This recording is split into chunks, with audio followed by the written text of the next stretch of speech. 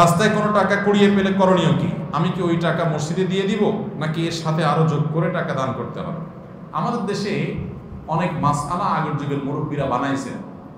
সৎ উদ্দেশ্যে অসৎ কাজ করছেন সৎ উদ্দেশ্যে অসৎ কাজ করছেন নেক উদ্দেশ্যে জালহাদিস বানাইছেন এরকম অনেক বিষয় আছে। এর মধ্যে এটা একটা, যে রাস্তায় যদি কোনো টাকা পাওয়া যায়, পুরানো টাকা, হারানো টাকা কেউ যদি ধরে তাহলে দশ টাকার নোট উঠালে বিশ টাকা তাকে দিতে হবে। এটা একটা জালহাদিস এই জালহাদিস যারা বানাইছেন, তাদের একটা নেক নিয়ত ছিল। কি নিয়ত সেটা?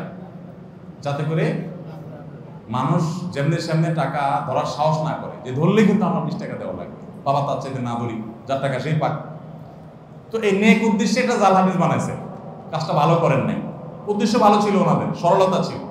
এরকম বহু নেক উদ্দেশ্যে জালহাদিস বানাইছে। যেমন রাতে যে আমাদের খাবারের প্লেট, এটা খায়া পানি, ধোয়া পানি, আগে গ্রামের আমরা মাটির ঘরে, টিনের ঘরে থাকতাম, তো এটা বাহিরে ফেলানো যাবে না রাত্রে।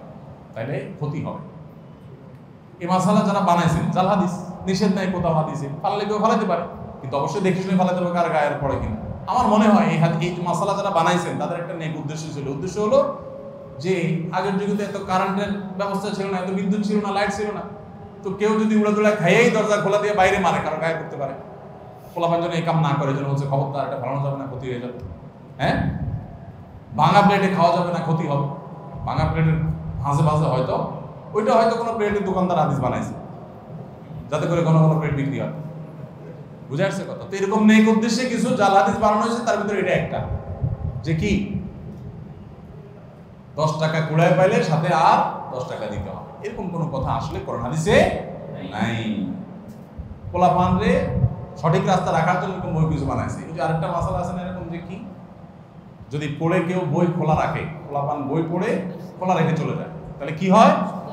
শয়তানে পড়ে। শয়তানে পড়লে তো ভালো, শয়তান মানুষ হয়ে গেলে তো এটাই চাই আমরা। শয়তানে পড়লে তো ভালোই।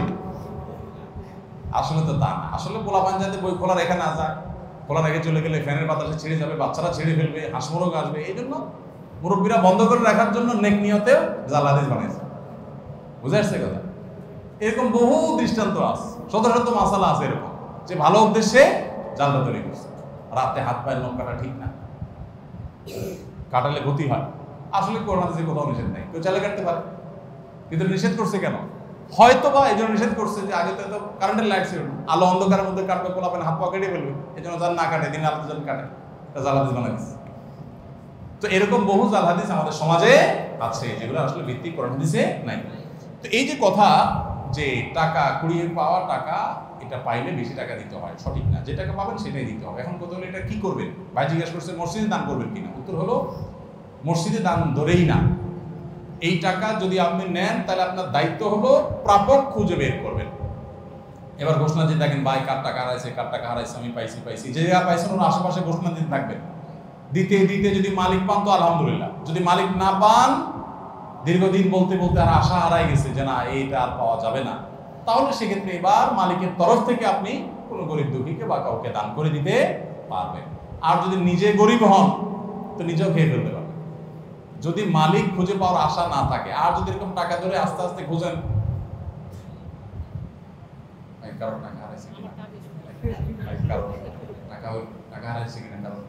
এভাবে কয়েকবার বলে বলছি, কেউ তো বলে না আমি খাই সেটা কিন্তু জায়েজ হবে না। কথা? ঘোষণা ভালো করে দিলেন, সব জায়গায় শুনেলেন এরপরে মালিক পাওয়া যাচ্ছে না, তাহলে এবার গরিবকে দান করে দিবেন। আর নিজে যদি গরিব হন, অভাবী হন, নিঃস্ব হন, তাহলে নিজেও খেতে পারবেন। কিন্তু যদি মালিক কখনো পাওয়া যায়, তখন আবার তাকে ফিরিয়ে ফেরত? বুঝে আসছে কথা? তো পাওনা টাকা এটা নিলে বা পাওনা কিছু পাইলে এটা পরিশোধ করার চেষ্টা থাকতে হবে।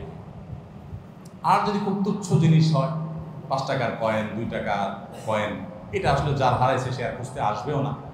হালকা গোজাগুজি করে পাইলেন না, এটা সরাসরি দান করে